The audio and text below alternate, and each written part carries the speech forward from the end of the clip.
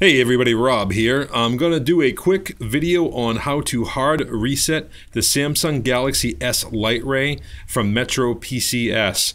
You're going to want to do this if you ever lock yourself out of your phone by putting in your PIN too many times, your security PIN, or if you set up a pattern, a pattern lock and you locked yourself out, or if somebody else got a hold of your phone and did it too many times. This is going to be a factory data reset, hard reset, using the buttons on the phone. So You've got your volume down and up right here on the left hand side.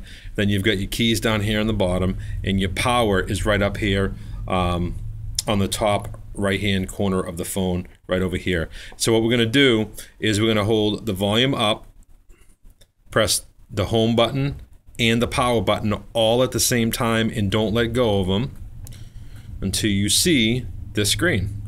Here we go. I'm just going to give it a few minutes couple seconds here.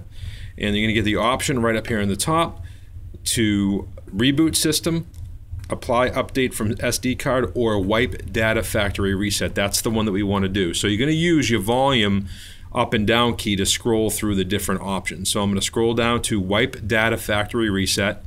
I'm going to press the home button right here to select it. So press that. There we go.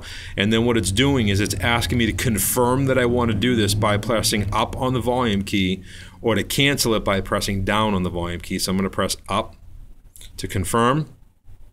And now up in the top, it gives me the option to reboot now. And again, I'm going to press the home key and it's now rebooting and I did a hard reset on the phone.